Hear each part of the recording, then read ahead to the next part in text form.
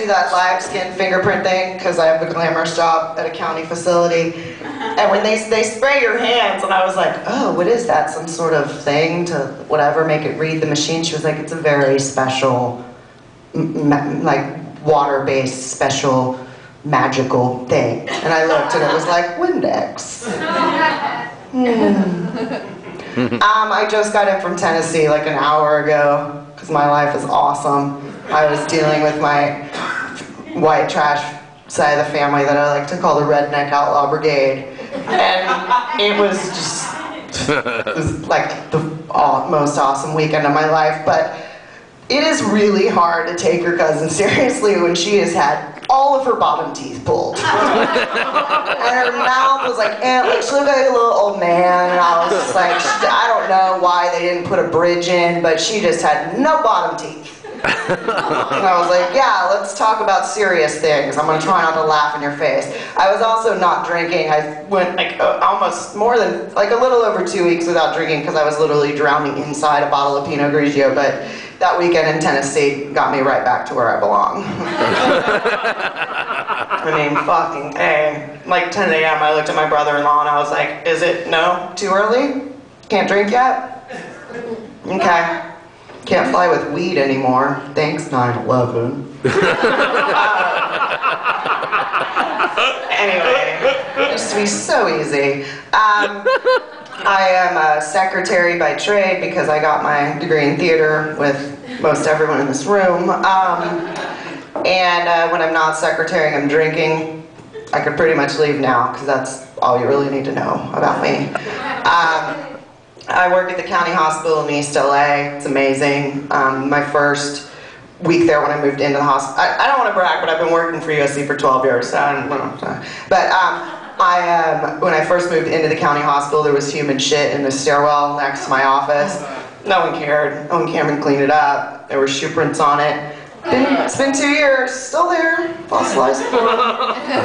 Um, so, um, yeah, I swear to God, it's still fucking there. And um, sometimes there's just a bloody gurney like in the hallway, and it's glamorous to say the least. Um, there's always uh, the convicted felons too. I just thought of this. And you always see them. I work in radiology, so when they go to get their X-rays, they bring the, the guys up in their jumpsuits, and there's like I guess varying degrees of what maybe their crime was. Like sometimes they just have their wrists shackled, sometimes they have their feet shackled too, and they're always you know flanked by by security guards. And sometimes there's women, and when the women have their feet and their wrists shackled, I just want to run up to them and be like, "What did you do? Did you kill your husband? What happened?"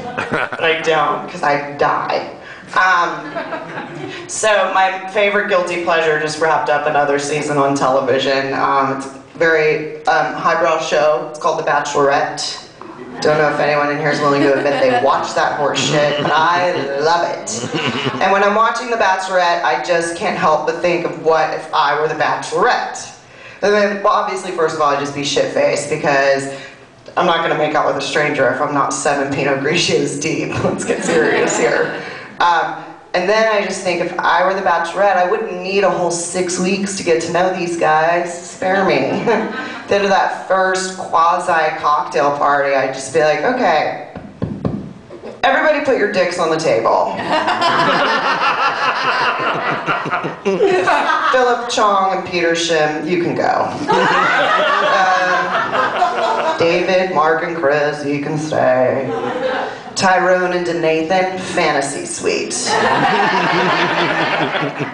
um, I did that joke in front of this guy.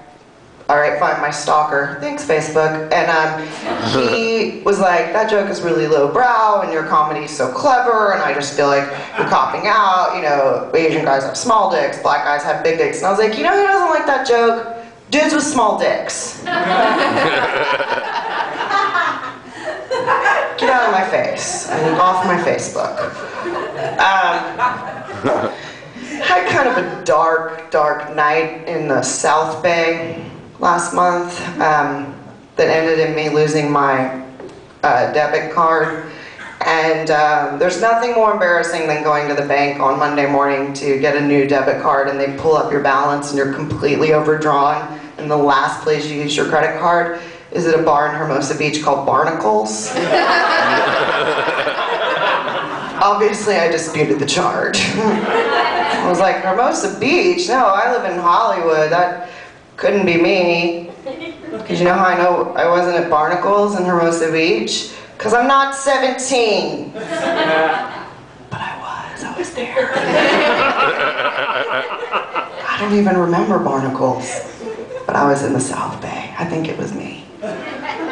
Um, so I threw my cat a birthday party.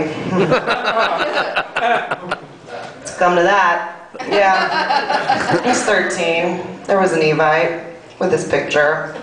It started out, I want to say, six fucking years ago. It's just like a joke, like as an excuse to like have a couple friends over and drink wine and make pot brownies on a Tuesday.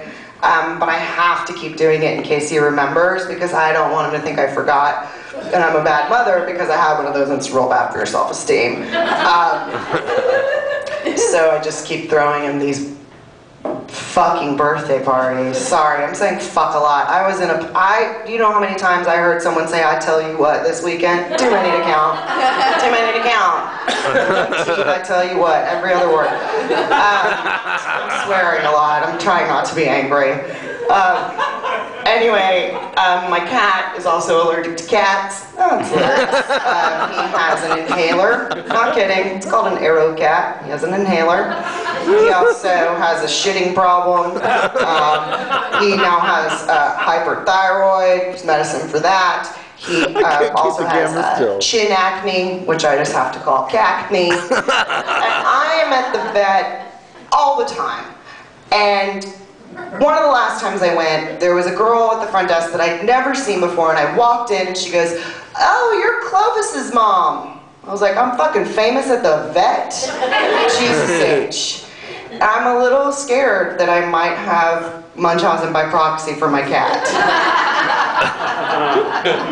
Good. Everyone here listens to NPR? Knew that word? when I listen to NPR, I'm like, God, I need to get my PhD or something. I don't know. Um, here's something I hate about Facebook. I mean, I hate a lot about it because I especially hate that time that my ex-boyfriend's father liked my breakup. Mm, I didn't like that. Um, I hated that. Yeah, his name's Dr. Jim Forrester, in case you're interested. Um, I hate when you get this little message in your email that's like, Shelly Moss wants to be friends. And I'm like, mm, no, she does not. Shelly Moss was a bitch that made my junior year of high school a living hell. Shelly Moss wants to look at my pictures and see if I've gotten fat since high school. Okay? That's what Shelly wants. If that's what she wants, that's fine. Because you know what I want? Tape that joke right there, put it up on Facebook, and tag Shelly Moss in it. that's what I want. I'm not brave enough yet. I'll get there. I'll get there. Um, sometimes I go to bars, and sometimes I give away my phone number, because I'm smart. And, um, oh God, I forgot there are parents here. Forge through. Um, is that the right word? Whatever, I'm brain dead. I gave this young gentleman my phone number, and I don't remember. And then the next day I got an email, a text from him that was like, hi, this is Jacob. And I was like, uh, oh, oh, that was a guy that looked really young. So I wrote back, please verify your age. he wrote back, uh, born June 30th, 1987. I remember 1987, okay? and I said, Jacob, the year you were born, I had already had my period for three years and had been fingered, but it was really nice meeting you. and he did not write me back, which is very shocking. Had he, he probably would have been my boyfriend because he would have balls of steel. Plus, like those young kids are like really good with technology. I don't feel like I'm using my droid to its fullest potential. He probably could have helped me with that. Um, okay, I'll just leave you with this.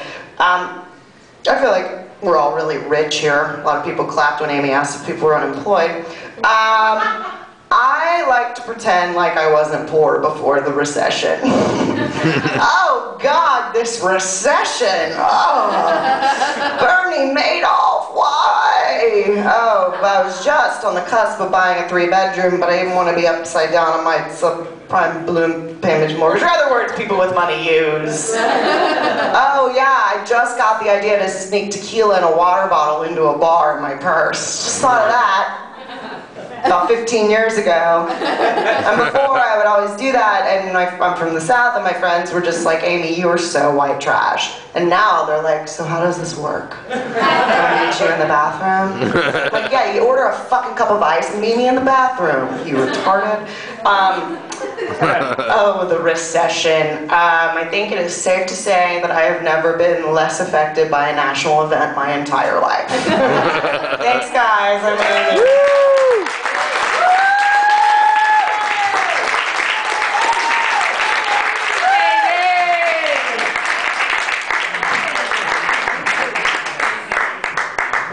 Amy Claire, ladies and gentlemen.